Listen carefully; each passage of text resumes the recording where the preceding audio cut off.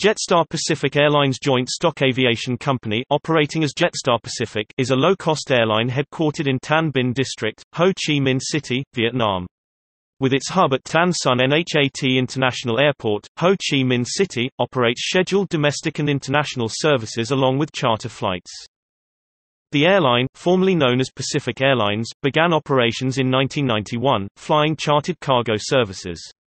From 1996 to 2005, the airline, along with other local companies, operated under the government-owned Vietnam Airlines Corporation.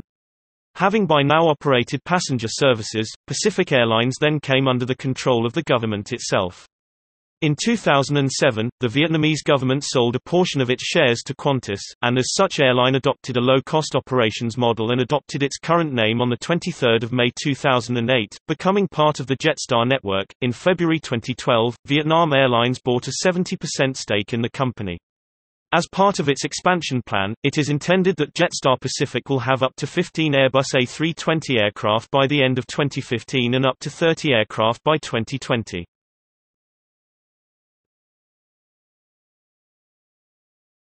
Topic: History.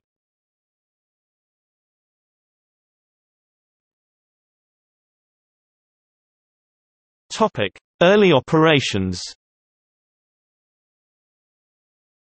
Pacific Airlines was established in December 1990 and began operations in April 1991 with a startup capital of $2.47 million. It was the first carrier to be established in Vietnam following reforms that permitted foreign investment in the country's airlines. Pacific Airlines operated chartered cargo flights to Thailand, Pakistan and France in cooperation with AOM French Airlines. In 1993, prior to the lifting of the U.S. embargo against Vietnam, the airline signed a deal with United Airlines that would have involved the training of Pacific Airlines personnel and which had provisions for cooperation on U.S.-Vietnam services. In 1994, the Civil Aviation Authority of Vietnam CAAV proposed plans to the government about the possible trading of minority stakes of Vietnam Airlines, Vasco and Pacific Airlines to investors. With the lifting of the U.S. embargo, the country was looking for funds for aircraft procurements. Such plans did not materialize. However, in 1996, Pacific Airlines was consolidated with several air service companies, including Vietnam Airlines, to establish Vietnam Airlines Corporation. During the same year, Pacific Airlines wet leased a Boeing 737-300 from Swiss charter carrier T. Basel. In addition to its jointly serviced cargo destinations, Pacific had by now opened services to Hanoi, Hong Kong, and Taipei. In 2000, Pacific entered into an agreement with Greek charter airline Galaxy Airways whereby the Vietnamese carrier would operate flights to Taipei on its behalf. In 2001, the airline's revenues totaled $48 million, having made 3,600 flights using an Airbus A310 and two A321s. From 2001 to 2004, a succession of regional and global events namely the September 11 attacks, the 2003 invasion of Iraq, the SARS outbreak and a rise in oil prices, as well as misguided management decisions, contributed to a cumulative loss of more than $13 million at the airline. Consequently, Vietnam Airlines Corporation in late 2004 submitted a report about Pacific Airlines to the government, who decreed that all of the carrier's shares belonging to the corporation must be transferred to the Ministry of Finance MOF. As a result, the MOF assumed control of 86.49% of shares, with Saigon Tourist 13.06% and Tradevico 0.45% making up the rest. The ministry in January 2005 announced plans to sell all of its shares to increase the available capital by 20 times. One prospective investor was Temasek Holdings, who was looking to inject $50 million to revive the business, which might have entailed launching passenger flights to Japan, South Korea, Malaysia, Singapore and Thailand. Talks with various parties fell through. It was not until January 2007 when rumors circulated about another prospective investor.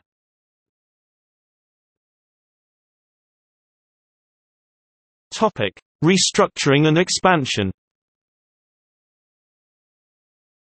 Australian airline Qantas was in talks with the State Capital Investment Corporation (SCIC), who was then managing the government's stake in Pacific Airlines, about a possible investment in the carrier. Three months later, Qantas agreed on a minority stake in Pacific as part of its plan to expand its low-cost operations through Jetstar in Southeast Asia. The deal was finalized in July when Qantas acquired an 18% stake for $30 million, with provisions to eventually increase the stake to 30%. SCIC held the majority of the remaining shares. The deal would see the carrier, now restructured into a low-cost airline, launch flights to the surrounding countries, and possibly southern Europe, with a fleet of 30 Airbus A320s by 2014. It would be renamed Jetstar Pacific Airlines in May 2008. As a low-cost carrier, JPA commenced flights to NHA Trang and Da Nang. Due to high fuel costs, NHA Trang was suspended, and the airline lost $22 million during the first 10 months of 2008. Passenger service launches to Bangkok and Siem Reap were deferred, and SCIC stated the airline would need $35 million to operate in 2009. Jetstar Pacific embarked on its fleet modernization plan in 2009, as it replaced several Boeing 737-400s with leased A320s. It made its first profit $1.1 million in July that year after long periods of losses.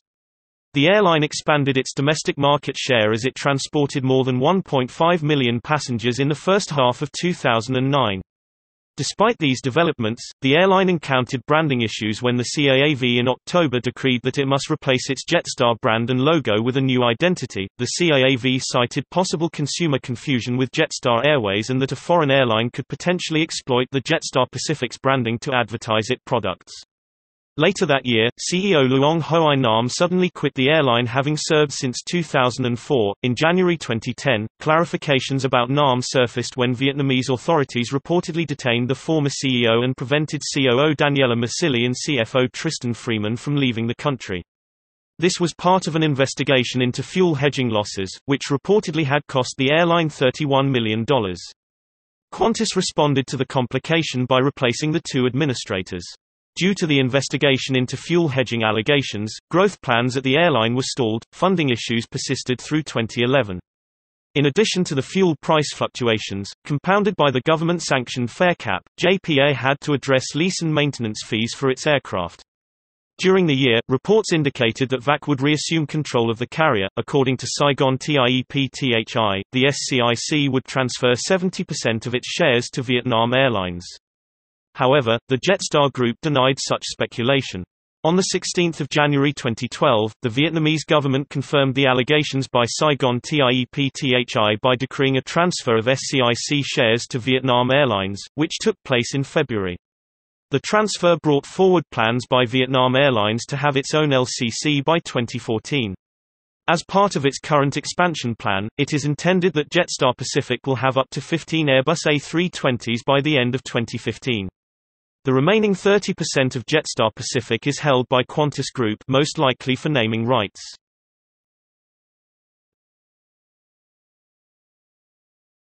Topic: Destinations.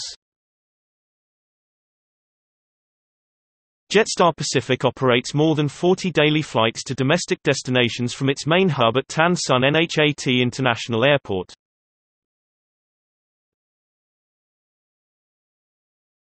Topic: Codeshare agreements. Jetstar Pacific has codeshare agreements with the following airlines: Qantas, Vietnam Airlines. Topic: Fleet. As of May 2019, Jetstar Pacific has an all Airbus A320 family fleet.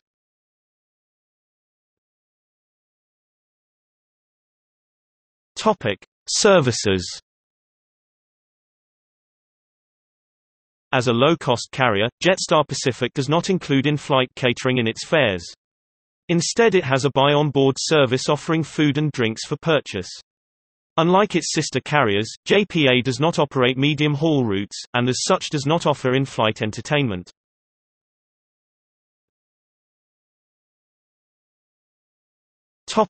See also